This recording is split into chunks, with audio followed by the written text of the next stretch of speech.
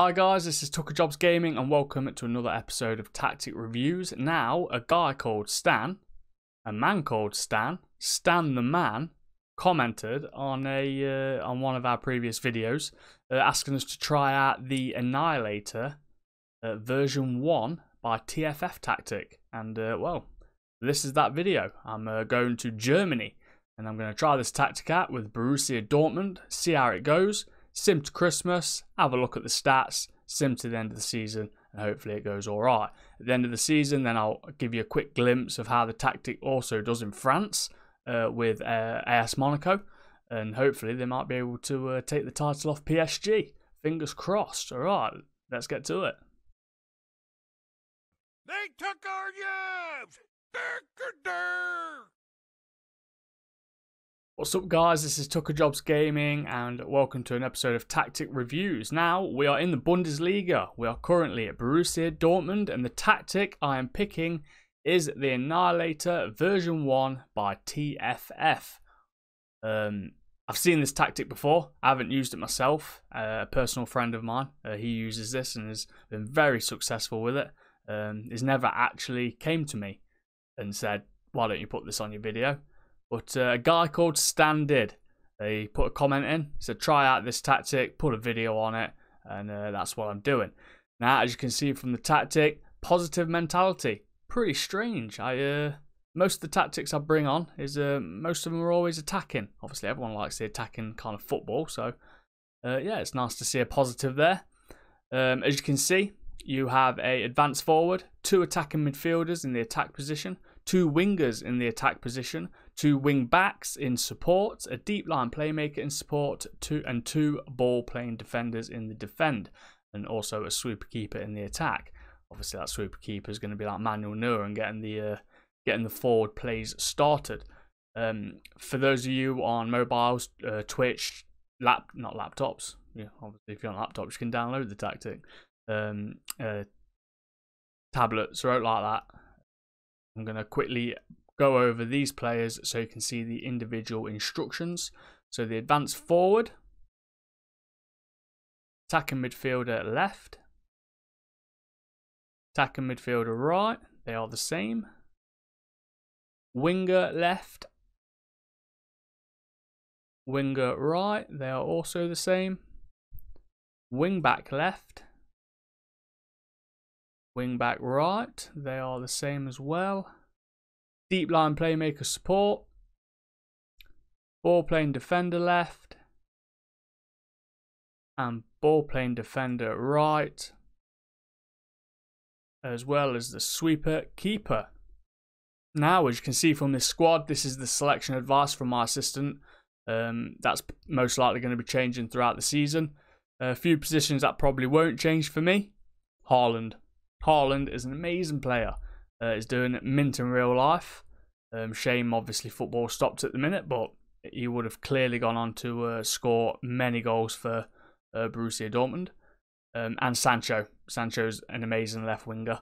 Um, it's a shame this tactic doesn't incorporate the more attacking wingers or the inside forwards because I'm sure he will uh, be very good in those positions. But I'm confident that he'll do well in the uh, sitting a little bit more back. Um, obviously Hazard, it's not the Hazard, it's Thorgan Hazard. He's not not too bad, nothing like his brother, but yeah, he might he might he might be able to do a bit. Right, so this tactic, it is a attack and width fairly wide, so you're going to play a lot on the wings, and that probably explains why you've got two wing backs and a winger. Um, approach and play, it's just play out defence, all the rest of them are left blank. More direct and higher tempo.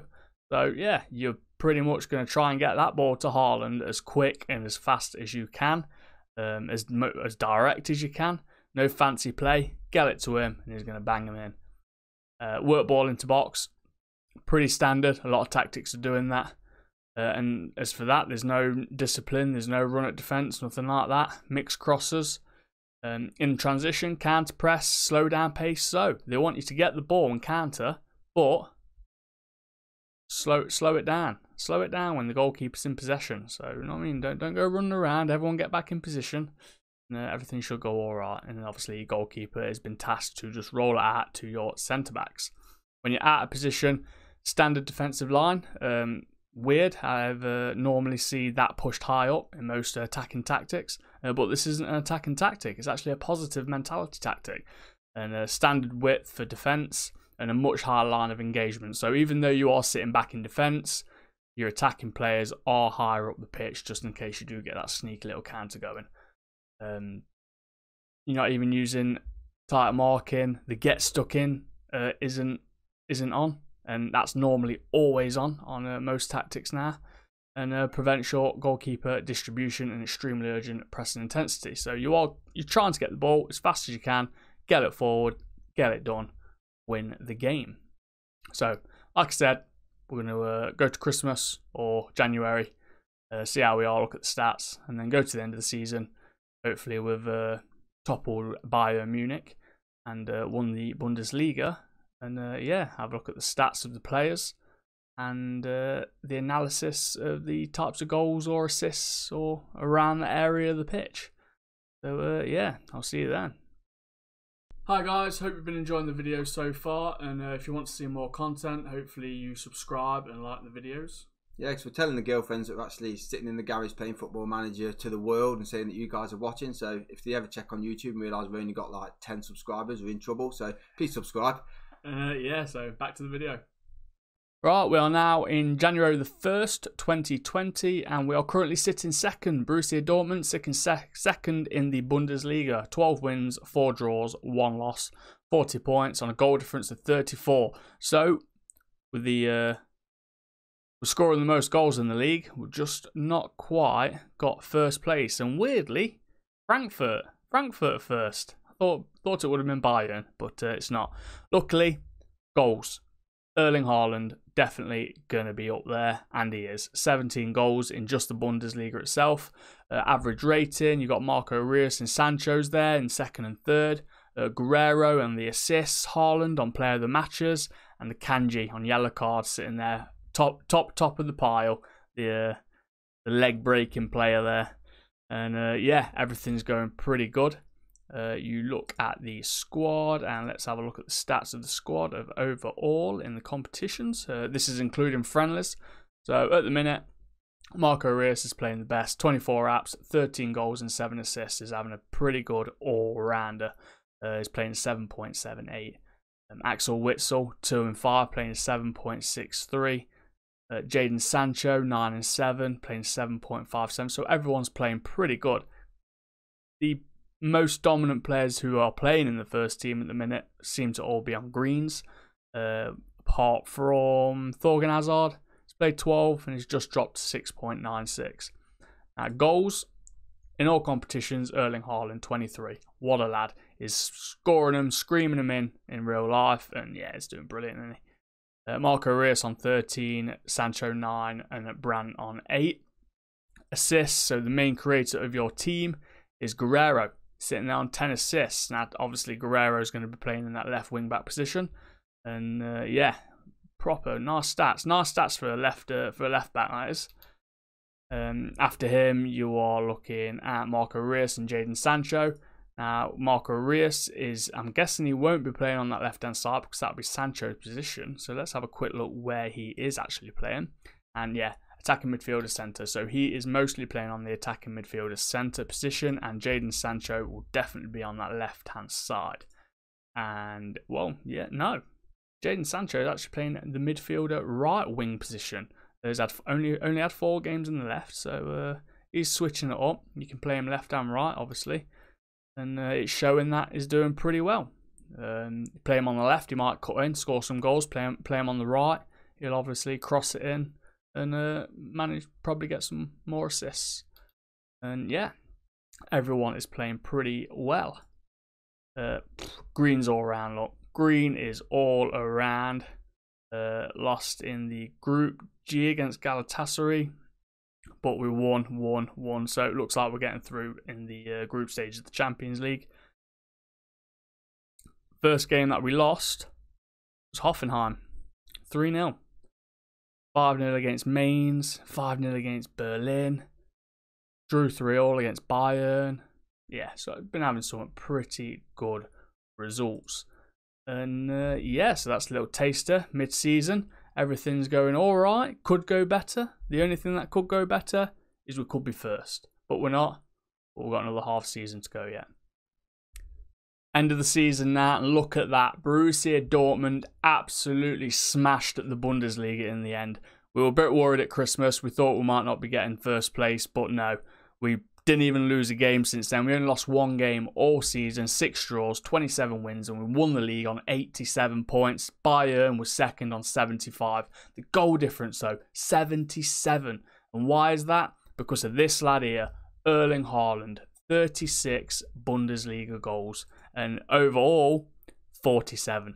47 goals in all competitions for this young striker right there. Average ratings first, second, and third Sancho, Haaland, and Reus absolutely amazing. Sancho's playing a 7.98 assists. Guerreiro 17, Sancho 14, Reus 13. Player of the match is joint first, Erling Haaland. We are everywhere on these stats. Unfortunately, we didn't get first, second, or third on clean sheets, but it doesn't matter. Obviously, we scored a lot more goals than they did. Um, yeah, champions. Well happy at that. Tactic, bar one. Thanks, Stan, for recommending this in the comments. Um, just a just a little heads up to anyone else that wants to recommend tactics, and uh, we'll have a look at them, and uh, hopefully we'll do a video on them. Yeah, this we're always hoping to grow the channel with everyone else involved. So uh, it'll be nice if uh, you could leave a comment and and all that, and we'll, we'll have a look together. Uh, yeah, so let's have a look at the players at the minute. So obviously in all competitions, not just the Bundesliga.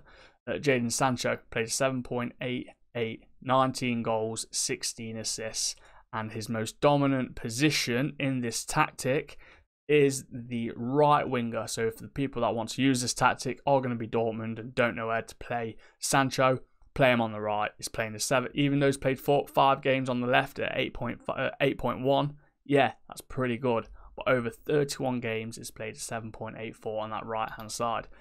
Um, after that, you've got Erling Haaland, proper baller, big lad, 7.75, 47 goals. I don't even need to show you where he's playing. It is very obvious. He is the striker. He is perhaps one of the best strikers in the world. Look at him, and he's only 19. 16 strength, 18 pace, 18 finishing off the ball, penalty taking, six foot four. He is just a brute. And, well, that's his middle name, isn't it? Erling Braut Haaland. And yeah, after that, Marco Reus, 20 goals and 16 assists. I'm guessing he is pretty much be play most predominantly playing in that attacking centre. Uh, yep, 41 games in the attacking centre and has played once on that left. Another standout performer is Guerreiro, wing back left. We already established that. Uh, Sancho, Hakimi, 13. He is will be playing on that right hand side, the right wing back. Uh, Julian Brandt. He I'm guessing he's going to be playing on the another attacking centre. Uh, no, midfielder left. Um, yeah, 41 games in that midfielder left position. Awesome. Four games in the attacking centre and one game on the right. Um, anyone else who's been playing absolutely amazing? Julian Brandt, we've already established him. Uh, he's yeah, he's an attacking centre, and he? He'll definitely be playing in that position. Oh, he's played one game as a striker, and he played an 8.2, so he most likely scored in that game. Uh, but no, attacking centre 47. Uh, that's where he's been playing. So yeah, everyone has been playing absolutely amazingly. The schedule, all greens, yeah, with 3 0 against Hoffenheim.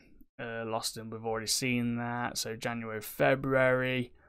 Fortunately, Salzburg, we lost 1 0 in the first leg and drew in the second leg. So lost that to, lost that to Champions League. Well, it doesn't matter. It, it does, That doesn't tell me that this tactic doesn't work because at the end of the day, we've just dominated the Bundesliga and toppled Bayern Munich.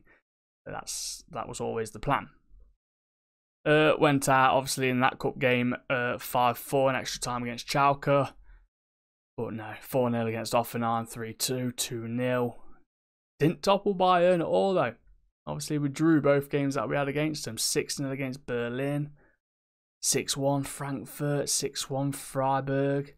Yeah, been scoring a lot of goals there. This is a very, very good tactic for those people that want to be banging in those goals and definitely um, recommend it if obviously some tactics you have them where your inside forwards or your attacking centres or shadow strikers are the ones that are scoring most goals. But nowadays, people want the striker. People want your striker to be the top scorer, not a winger, not a shadow striker, your striker. Right? Advance forward or you're pressing forward or whatever. This is a good tactic for it. Obviously, Erling Haaland, the striker, 47 goals in all competitions. Been playing absolutely amazing. Now, having a look at the analysis, goal locations, there's been three wonder goals, uh, 7 5, obviously outside the area, most likely long range or free kicks. Uh, one on this right hand side, which is uh, you don't normally see them, so that was probably a fluky little wind ball flipping in and went, it went in. And a 77 in the box, obviously 45 close range. Uh, yeah, total scored 154 total goals in all competitions and only conceded 51. We only conceded a third of what we scored. That was absolutely amazing. Looking at the assist chart, 29 on the right hand side. That's pretty dominant. Now, that tells me obviously Sancho, definitely Sancho's having an amazing time on that right hand side. Uh, 46 inside the box, so we've got work in the box, haven't we? So they're all working around, finding that clear cut chance for obviously Erling Haaland to score. He's uh, been doing pretty well. 25 assists outside the area, 14 on the left, and 10 within the centre or your own half. So, yeah, your ball playing defenders, deep line playmaker. Obviously, they're sitting back, pinging the balls over, and uh, you're getting your goals that way. So, yeah, everything is absolutely amazing, guys. Use the tactic, looks great. Um, Erling Haaland, 36 goals. Can't that's that's awesome, awesome. Um, have a quick look at the team itself. So just for those who want to know who played the most, obviously I've gone from apps downwards, so you can see right there. I would say from oh Thorgan Hazard or just below. That's pretty much you can see there the predominant team that played um, throughout most of the matches. But yeah, amazing. Everyone played absolutely mintio. Um, so let's uh, see how this tactic then does in France with AS Monaco. Now we're in France. I'm not going to bore you with the start, the mid, and the end. I've gone straight to the end with AS Monaco. One save, one quick, blast through, simmed it, the whole lot, tactic in, and champions. Awesome. All right. I never, ever, ever see teams manage to beat PSG in the first season. Yeah, a little bit of luck has gone our way. They managed to lose six games on their own. Um, I've played games in France before where they've gone a whole season unbeaten. They are absolutely amazing. Obviously, Kylian Mbappe, and you've just got, I mean, Cavani. They've got an amazing team, and they, sh- they technically they shouldn't ever lose a game in this league. There's only three or four teams that are pretty much good enough to maybe beat them. Um, obviously, yes, Monaco is one of them. um, but no, uh, we didn't absolutely smash the league. Uh, four losses, three draws, 31 wins, uh, 96 points. So we only finished six points above second place. Um, we didn't outscore anyone uh, on the goal difference. Uh, well, we did. We came second in goal difference itself, obviously PSG. Uh, but uh, Wissam Ben Yedder is uh, is a pretty good striker for AS Monaco. Um, even though he came third, he actually broke his foot in this season. Broke his foot, and he only played 22 games in the league. So I fully, fully, fully believe that if he never broke his foot and he played the full season, he would have definitely come first on goals. 18 games in 22. Kylian Mbappe played a full 36 league games and he got 23. So yeah, I think we're easily going to be looking at another 10, 28, maybe 30 goals if we're lucky. Um, average rating, Fabregas came second. Old boy is still doing it. Assists, 21 assists for Fabregas. All right, he's got the mentals, he's got the technicals. He ain't got the physicals, but yeah, you don't need them. When you're that smart, when you're that kind of player, sit in the sit in the middle of the park and just just ping, just ping the balls. I mean, like a Pirlo. Everyone remembers Pirlo just sitting there, just pinging them left and right. And uh, yeah, he played absolutely amazing. Uh, his position that he played in is most. Mm, he played uh, quite a few attacking mid roles, and the obviously the deep line playmaker role as well. Um, but yeah, everyone played absolutely amazing. Uh, Ben Yedder would have played the advanced forward. Uh, looking at the squad now. Yeah, so George, 19 goals. Ben Yedder, 18. Don't forget, this is an all competition, so Ben Yedder got 18 in the league. and George got 19 overall. Um, so Martin's got 13 assists. He's been playing well. Fabregas 6 and 24, 24 assists overall in all competitions is awesome.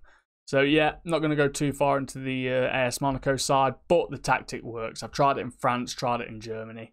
Uh, so you guys, it's up to you now. If you want to try it in Belgium, if you want to try it in England, if you want to try it in Spain, Italy, go for it. Uh, so yeah, big thumbs up to uh, Stan for commenting in the video, in my previous video, um, recommending this tactic and recommending we do a video on it. So yeah, like I said, guys, leave a comment. Uh, might be able to do videos on your ideas as well. And yeah, hopefully you enjoyed the video. Subscribe, like, and uh, I'll see you later. Bye.